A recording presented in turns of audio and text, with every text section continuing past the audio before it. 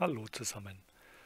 Heute mal ein ganz anderes Thema und zwar geht es um die Bildbearbeitung. Ich bin ja ein Hobbyknipser und erstelle regelmäßig Fotobücher und dann macht man ja aus den Ergebnissen der Kamera vielleicht noch das ein oder andere äh, Foto. Ich sage bewusst äh, Knipser und nicht Fotograf, denn ich denke, ähm, dazu sind meine Ansprüche zu gering. Ich fotografiere mit einer Sony Alpha 6300 und habe praktisch ein ähm, 16 bis 70 mm Objektiv dran. Das ist mein Always-On Objektiv. Das habe ich glaube ich nur einmal zum Saubermachen abgenommen. Ansonsten steckt es die ganze Zeit dran. Brennweite 4 reicht für die meisten ähm, Fälle.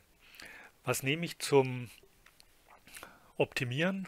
Es ist ähm, eher ein Entwicklungsprogramm und weniger eine Bildbearbeitung, denn man kann jetzt keine Striche malen oder sonstige große Dinge äh, machen, sondern eigentlich ähm, die Bilder so ein bisschen aufhübschen. Das ist das Programm Lumina 3 und ich habe jetzt hier in dem Ordner ein paar Demo-Bilder gemacht. Weil ähnlich wie ich fotografiere, einfach so ein bisschen aus der Hüfte schießen, abdrücken, was mir gefällt, ohne Planung. Ich stehe ja nicht früh auf und äh, will irgendwelche Säulenaufgänge, äh, nebelige Moorlandschaften etc.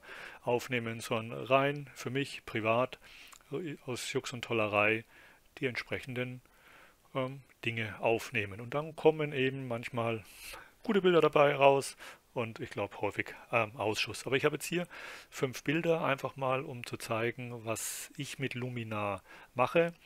Ähm, und warum Luminar noch ganz kurz, weil ich habe es mir mal zeigen lassen mit diesem typischen Photoshop ähm, etc. Da kann man die Ergebnisse noch viel, viel schöner, viel toller machen.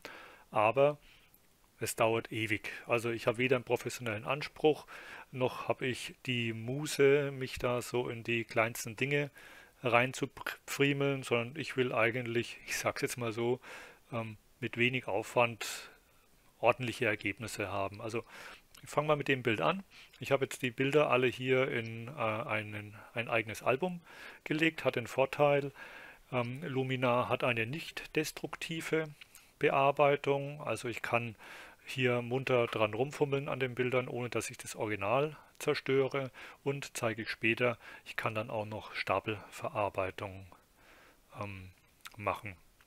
Ich gehe jetzt mal hier in die Bearbeitung rein und was ähm, Lumina von sich schon hat, die nennen das immer künstliche Intelligenz.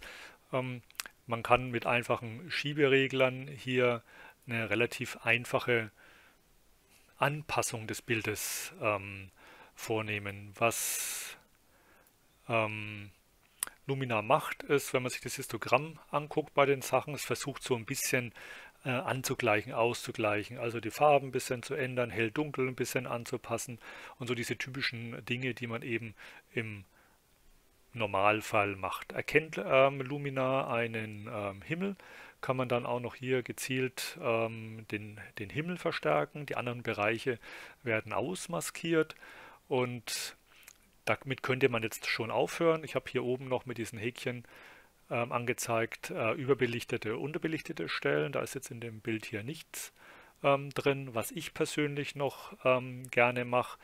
Ähm, man kann hier dann so den ganzen Filterkatalog sich ähm, aufbauen, sind dann äh, solche Dinge wie zum Beispiel eine Grünverbesserung, weil ähm, gefühlt aus der Sony das Grün ein bisschen flau herauskommt. Und da für die Fotobücher habe ich die Erfahrung gemacht, lohnt sich ein bisschen ähm, nachzuschärfen. Ich arbeite nur mit JPEG und ähm, das ist praktisch ausreichend. Das war es für das Bild hier eigentlich auch schon.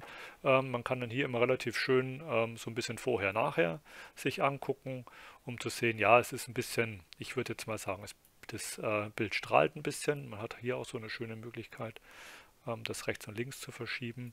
Äh, der Himmel kommt strukturierter ähm, heraus. Es wirkt aufregender, sage ich jetzt mal. Das Bild ist einfach schöner. Dann kann ich mich auch schon um das nächste Bild kümmern.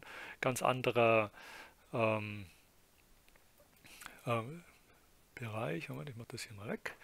Auch hier wieder das übliche, was ist über, was ist unterbelichtet. Dann sieht man, dass es hier ähm, Bereiche gibt, die doch deutlich überbelichtet sind, wo so ein bisschen absäuft. Ähm, dann kann man hier das Entwicklungstool nehmen, auch wenn man jetzt nicht mit RAW arbeitet. Wie gesagt, ich arbeite mit JPEG. Dann kann ich die Belichtung ein bisschen runterdrehen, bis das weg ist. Und im Gegenzug dann ein bisschen die dunklen Bereiche leicht aufhellen. Es ist zwar jetzt hier nichts richtig abgesoffen, aber es macht sich einfach ähm, schön bemerkbar. Und wie immer dieser Standardregler, der einfach alles ein bisschen angleicht. Die Belichtung wieder ein bisschen runter. So. Und schon sieht es im ersten Moment schon recht gut aus. Den Himmel, ich glaube, es ja doch kommt auch ein bisschen hervor. Dann wirkt die obere linke Ecke auch gleich wieder etwas ja, individueller. Sie fällt auf und ist nicht nur weiß. Dann auch hier wieder etwas schärfen.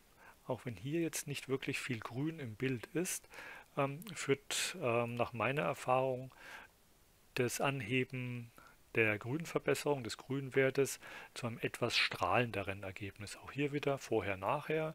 Die Änderungen sind jetzt nicht wirklich ähm, stark, aber trotzdem, man sieht die Struktur im Balken ein bisschen besser, etwas vom Himmel und dadurch ist für mich das Bild einfach ja, schöner geworden. Hier jetzt ein ganz anderes Beispiel, auch da wieder der gleiche Weg. Man kann das theoretisch auch, wenn sehr viele gleiche Bilder sind, auch in Form einer Stapelverarbeitung die ganzen Filter automatisch ähm, drüber rauschen lassen da es für mich aber trotzdem immer wieder den einen oder anderen Unterschied gibt, die eine oder andere Feinheit, ähm, dann mache ich jedes Bild einzeln. Außerdem kann man dann noch viel besser darüber nachdenken, ob man das Bild ähm, verändern will oder vielleicht sogar rausnehmen möchte. Auch hier sind ganz leichte Überbelichtungen im Bild. Die kann man dann wieder rausnehmen die Schatten ganz leicht anheben und auch hier wieder das Thema Grünverbesserung und Schärfen. Dann kann man wieder gucken, vorher, nachher, hier etwas blasser, hier etwas strahlender. Kann jetzt jeder natürlich für sich selber entscheiden, ob er eher dieses Poppige mag. Ich mag das ähm, und gerade wenn man die Fotobücher mit matten Aufnahmen, also mit matten Papier verwendet, kommt es dadurch ein bisschen besser raus. Jetzt mein Extrembeispiel von ähm, überbelichtet. Das sind jetzt eher Demo-Bilder, aber einfach um einen Eindruck zu bekommen. Auch hier wieder gehe ich dann erstes in die Belichtung rein, ziehe dann den Wert hoch. Da sieht man eben auch, dass er hier angleicht die Belichtung weiter runter. Ich belichte schon etwas, ähm, ich unterbelichte schon, so muss man eigentlich sagen, die Kamera bei, bei der Aufnahme, aber hier muss man dann trotzdem noch etwas nachregeln. Das wird jetzt unnatürlich. Also je nach Regler, es gibt dann die Erfahrung, gibt solche Bereiche, also ob man jetzt 1, 2, 3 äh, hier mehr macht, das fällt meistens nicht auf. Ähm, aber wenn man es zu stark ins Extrem zieht, dann ähm, übertreibt der Filter immer ein bisschen. So, Grundverbesserung.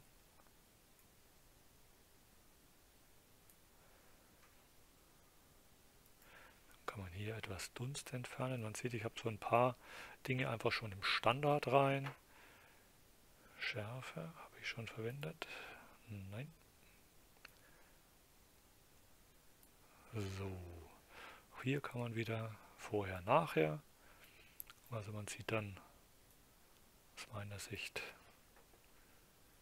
Schatten noch etwas mehr. Zwischen 80 und 90. Bei 100 ist dann schon ein bisschen zu extrem. Also man wird es nie immer ganz hinkriegen. Aber auch da passt es dann. Jetzt wieder ein ganz anderes Bild in der Nacht. Einfach versucht, so ein paar Beispiele zu machen, dass aber trotzdem dieser ähm, Automat hier schon von sich aus, man kann sich, ich zeige es einfach nur den Automaten, von sich aus schon relativ viel ähm, rausholt. Das Bild wirkt lebhafter und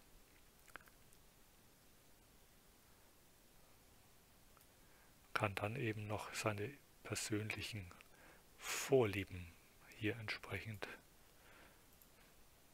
berücksichtigen.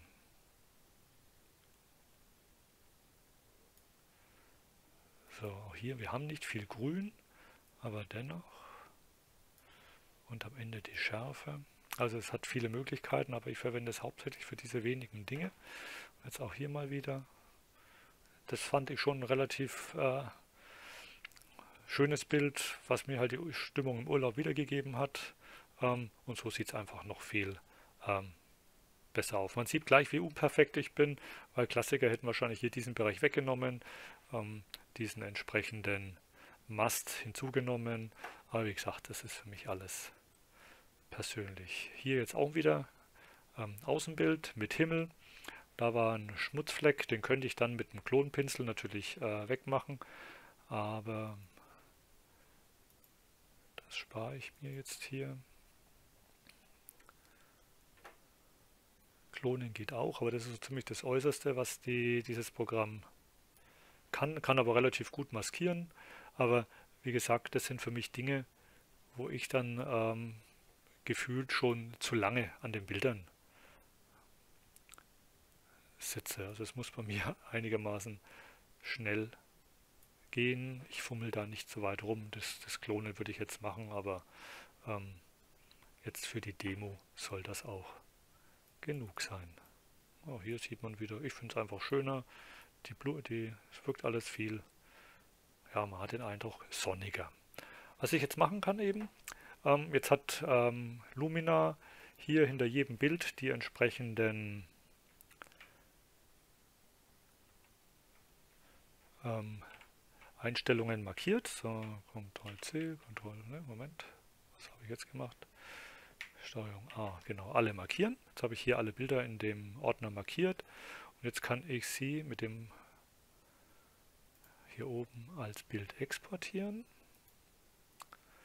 Kann hier ein Ziel angeben, kann ein bestimmtes Format angeben, also unterstützt sehr, sehr viele Formate, kann noch ein Nachschärfen machen, lassen. Da ich aber schon die Bilder geschärft habe, lasse ich das. Ähm, kann noch äh, entsprechende ähm, Größen angeben, wenn ich sie äh, irgendwo hineinpassen möchte. Verschiedene Farbräume auswählen, abhängig von dem Einsatzbereich, ob ich sie im Internet äh, oder für Druck verwende. Und dann die Qualität. Und wenn ich dann exportieren mache, dann fängt er eben an, diese sechs Bilder zu exportieren. Ähm, ich habe dann ähm, gestern schon mal vorbereitet einen ähm, Lastlauf. Also ich habe hier so einen i9, also der äh, muss hier schon ein bisschen arbeiten. Alle Kerne werden zu ungefähr 50 Prozent ausgenutzt, die Threads auch entsprechend und ähm, die Temperatur geht dann leicht ähm, nach oben in meinem Gehäuse. Also dieses Exportieren ist dann abhängig von der Leistungsfähigkeit des Prozessors und kann dann je nachdem ähm, doch einige Minuten dauern. Jetzt hier bei diesen sechs Bildern und den Einstellungen, die ich vorgenommen habe. Ähm, ja, jetzt ist er fertig. Äh, hielt sich das in Grenzen. Ja, ich hoffe, es war einigermaßen interessant und bis zum nächsten Mal. Tschüss.